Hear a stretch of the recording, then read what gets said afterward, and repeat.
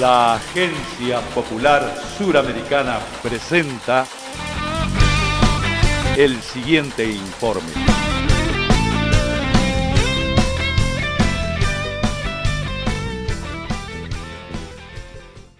De esta manera y gracias al trabajo del Ministerio de Trabajo de la Nación, a través de la Gerencia de Empleo y Capacitación Laboral San Martín, el equipo técnico de la sede central del programa Jóvenes y de la Dirección de Servicios de Empleo, en articulación con el municipio de Malvinas Argentinas, se promueve el trabajo registrado y se facilita la inserción laboral, garantizando la formación de todos los trabajadores e implementando de forma integral y articulada varias líneas de políticas laborales para ofrecer respuestas a las principales problemáticas que enfrenta en la actualidad el mercado laboral.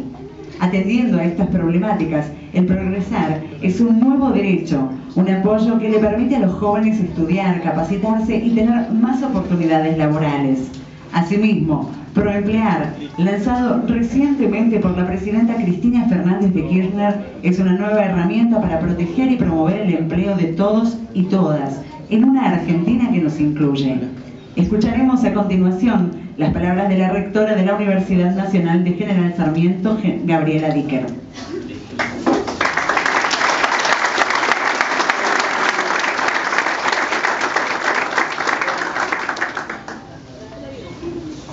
Hola. Bueno, buenas tardes a todos y a todas. Bienvenidos aquí a la universidad y a este acto. Eh, bienvenidos y les agradecemos mucho al ministro, al secretario, a los demás funcionarios, concejales que están hoy aquí. Eh, estamos acá en este pequeño, gran acto, eh, celebrando una vez más el resultado de una política pública que apunta a lo que sin dudas es el sector más vulnerabilizado de la población, que es el sector de los jóvenes. Eh, esta es una política pública que sin duda se articula con una secuencia, con una serie de políticas destinadas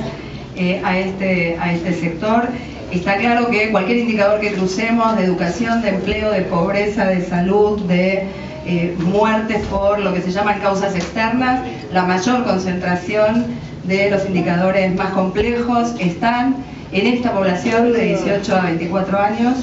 eh, y la conjunción de diversas eh, políticas públicas dirigidas a este sector sin duda lo están recortando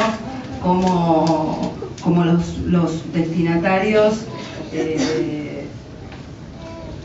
imprescindibles para, para imaginar un país que crece con un poco más de justicia, con más democracia, con más empleo y con más educación. Nosotros acá en la universidad, eh, esta, es, esta universidad es una plataforma donde se cruzan muchas de estas políticas, no solo el programa Jóvenes por Más y Mejor Empleo, también el Progresar, eh, también políticas públicas que vienen de otras eh, de otros organismos como Jóvenes y Memoria, que está ahora mismo eh, ocurriendo aquí un, encuentro regional en esta universidad. Y no quiero dejar de decir que la expansión de las universidades que ha tenido lugar en los últimos años, la creación de universidades nuevas, el aumento del incremento eh, del, presupuesto universitario, también es una política pública destinada a este sector de la población.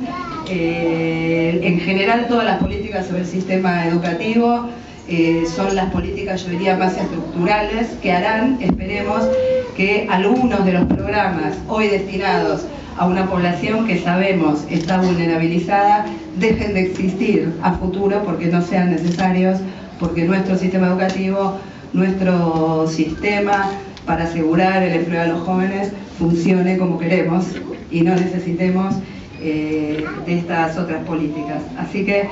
les, agradezco mucho que estén acá, los felicito a los que van a recibir su diploma y no quiero dejar de recordar que así como aquí estamos sin dudas de acuerdo en que esta conjunción de políticas tiene que estar destinada prioritariamente a este sector, este no es un acuerdo que tengamos todos en este país y hoy vuelve a ponerse eh, en discusión si son estas políticas o deben ser otras, como las de la mano dura, como las de ciertas formas de pensar la seguridad, eh, como aquellas que llevan a los fenómenos de violencia institucional los que debemos dirigir a los jóvenes. Acá hay una discusión sobre cuáles son eh, esas políticas y por lo menos los que estamos acá sabemos de qué lado estamos. Muchas gracias.